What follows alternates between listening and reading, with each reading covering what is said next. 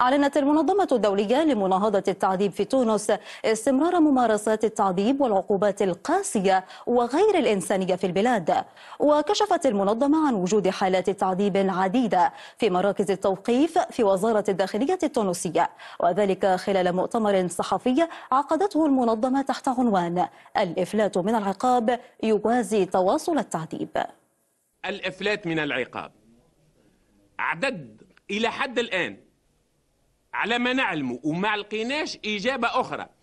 لم يتم الحكم على أي عون من أعوان اللي متهمين بالتعذيب إلى حد الآن.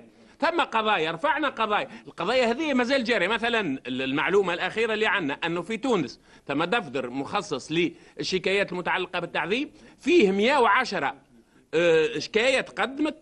ثم 44 موجودين أمام قضاة التحقيق لكن ما ثم حتى قضية حكم فيها بعد.